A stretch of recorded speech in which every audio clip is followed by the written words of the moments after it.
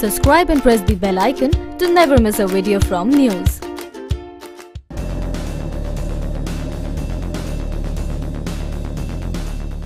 Prime Minister Narendra Modi on Friday took a metro ride to 26 Alipur Road where he dedicated Dr. Ambedkar National Memorial to the nation.